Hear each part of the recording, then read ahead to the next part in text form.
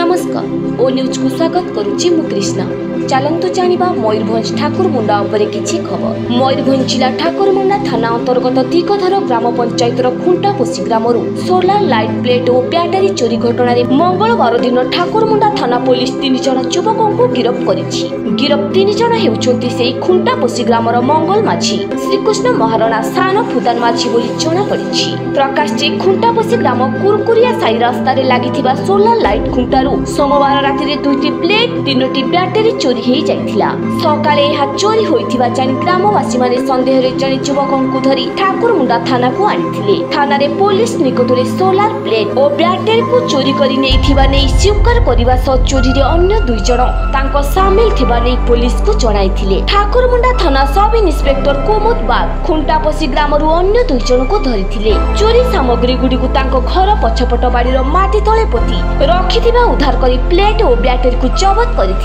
এনে ঠাকুরমুন্ডা থানার case number অঠস্তরি by একুশ অনুযায়ী মামলা রুজু করা পুলিশ তদন্ত করুছি ঠাকুরমুন্ডার সচিতানন্দ পল্লীঙ্ক রিপোর্ট ও নিউজ